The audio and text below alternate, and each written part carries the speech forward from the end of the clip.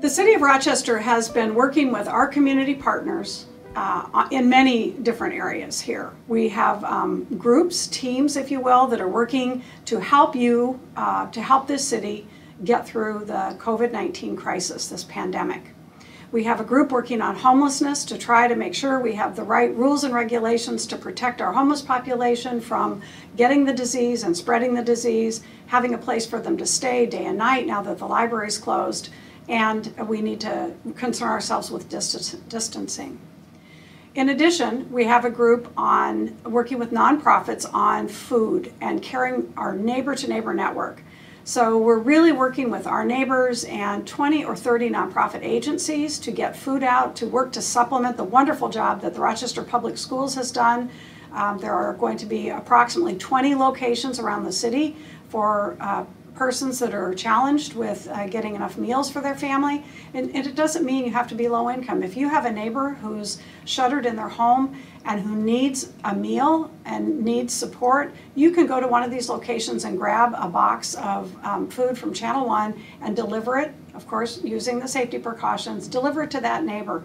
Um, to help them out. In addition to that, the third group that we have going right now is one on economic recovery and economic stability.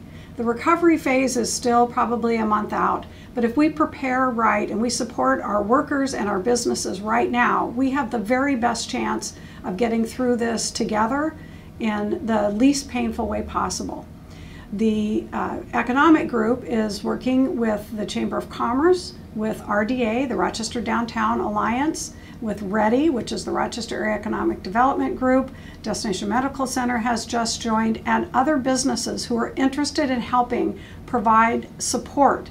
The way this was kicked off is this is our um, city council voted uh, to support a $250,000 uh, loan program through Ready and also some additional funds um, to support small businesses specifically. So uh, we're trying to build a program. It's almost ready, unbelievably. Uh, they, they voted those funds for those funds on Monday, and here it is Friday, the end of the week, and they are very near ready to roll out the program. It's been, it's all these committees and these groups have just mobilized so quick.